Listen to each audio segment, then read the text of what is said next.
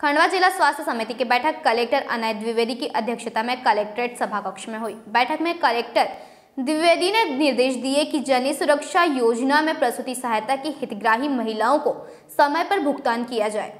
उन्होंने परिवार कल्याण कार्यक्रम की समीक्षा कर सभी बीएमओ को निर्देश दिए कि नजबंदी शिविरों में लक्ष्य दंपतियों को परिवार कल्याण कार्यक्रम अपनाने के लिए प्रेरित करें।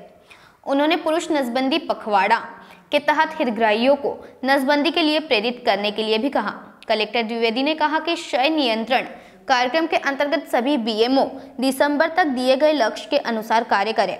बैठक में civil surgeon doctor OP Juktawat DHO doctor N K Sethia CDPO मौजूद थे। खंडवा से ब्यूरो प्रीतम लखवाल की रिपोर्ट। हेलो फ्रेंड्स आप देख रहे हैं हमारा channel S W twenty four news हमारे सारे वीडियो सबसे पहले देखने के लिए आप हमारे चैनल को सब्सक्राइब करें और पास में लगे बेल आइकन को दबाना बिल्कुल भी ना भूलें।